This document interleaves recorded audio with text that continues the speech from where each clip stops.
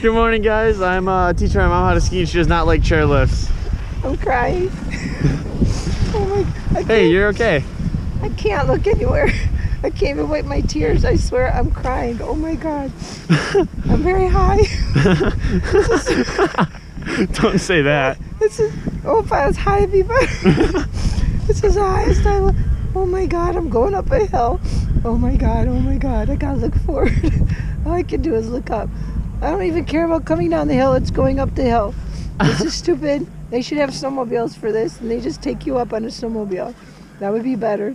I'm seriously crying on a chairlift and it's the baby one. This is so bad.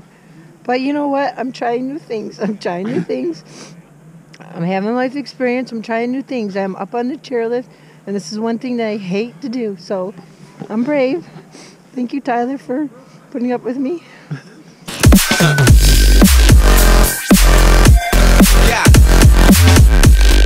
is her first time skiing and she's doing great. Getting her out here, she's just really scared of the chairlift, but uh, she's already doing great on her first run, so this is gonna be really cool.